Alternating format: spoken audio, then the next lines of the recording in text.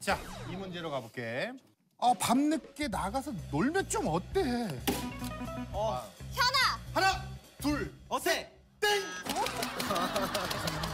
버블팝! 버블팝! 하나, 현아! 아, 큰일 났다, 큰일 났어.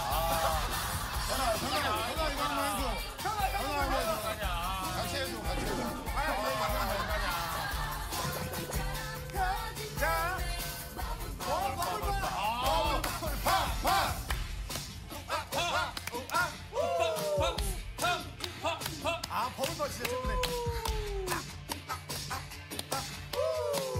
아, 춤잘 춰.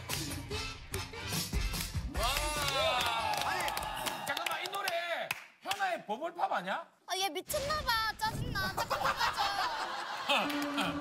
아, 자전거? 자전거 두고 가는 거는 참는데 이거는 못 참네.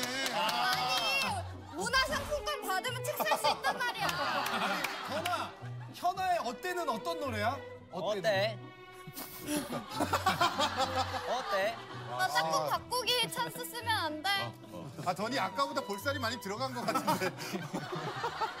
어떻게 내 노래를 밤늦게 나가서 아 당황했어 당황했어. 당황하지 않았잖아요. 당황하지 않았잖아요. 하지 않았잖아요. 뭐라도 한마디 해, 현아. 그렇지. 지금 물 마실 때가 아닌데. 너 어차피 물 마시는 거 안 좋아하잖아. 왜 물을 마셔 갑자기? 야, 내가 오늘 뭐 물한 뭐- 물한 잔도 안 먹은 적 있으면. 아니 내가 하루 종일 하면서 얘가 오늘 뭘 먹는 건 처음 봤다. 내가.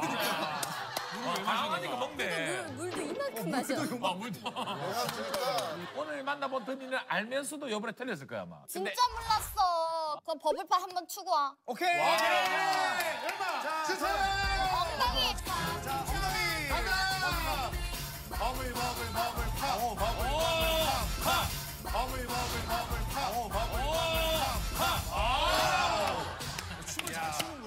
이제 기분 좀 풀어졌어? 아니?